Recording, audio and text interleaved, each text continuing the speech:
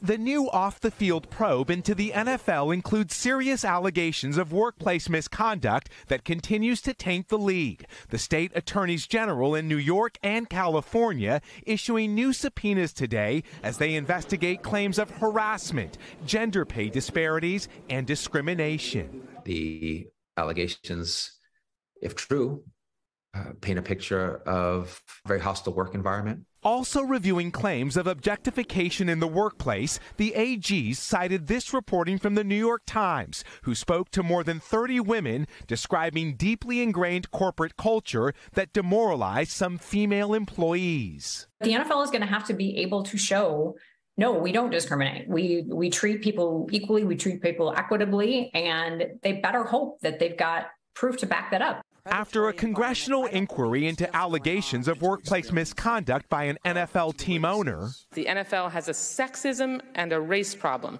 Tonight, the NFL says these allegations are entirely inconsistent with the NFL's values and practices. The NFL offices are places where employees of all genders, races, and backgrounds thrive. We do not tolerate discrimination in any form. No matter how big or large or powerful or popular an entity is, a corporation is, you are not above the law.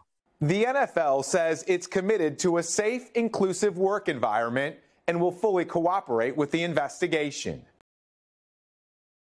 Thanks for watching our YouTube channel. Follow today's top stories and breaking news by downloading the NBC News app.